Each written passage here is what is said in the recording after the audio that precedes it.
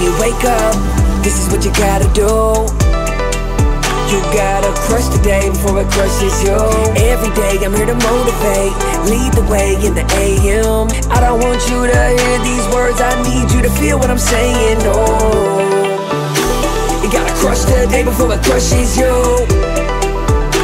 You gotta crush the day before it crushes you.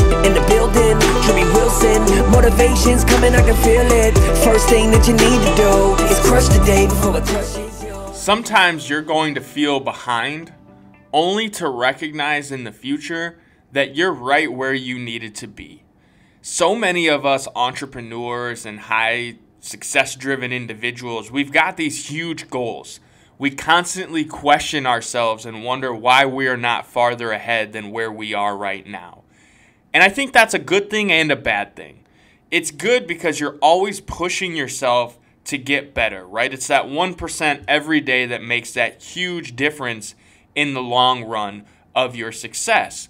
But sometimes you're going to feel like you're not as far along as you should be, right? And I think a lot of this happens, you know, in your gym and your fitness, right? Like you show up, you lift the weights, you start eating better, and you you know, you reach a plateau.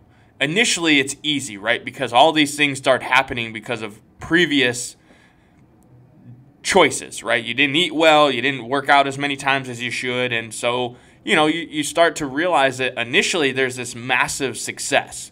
And then you hit a plateau, and you start to wonder why you're not farther along than you are because you're doing the work, you're making all the right choices, right?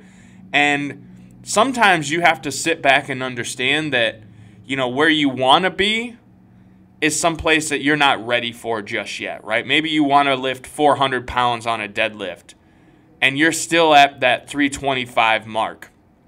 And what you don't realize is that you need to be at that 325 for a little while longer because it doesn't matter how hard you keep trying to hit that 400 if you haven't developed the form, if you haven't developed the motions, then your body is not going to be able to hit that 400 pound deadlift.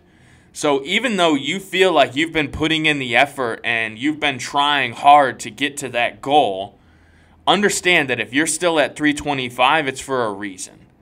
And this applies in every area of your life. Wherever you think you should be, you are where you are right now for a very specific reason. So look deeper on that. What can you do to get better? Where can you focus that energy knowing that if you just keep working on where you're at now, eventually you'll look up and be exactly where you want to be. If you enjoyed this episode, be sure to go back and check out all the previous episodes. Make sure you subscribe share this podcast with other like minded, success driven individuals who want to crush it. Check the show notes and grab your Crushing the Day swag over at crushingtheday.com. And remember, crush the day before it crushes you.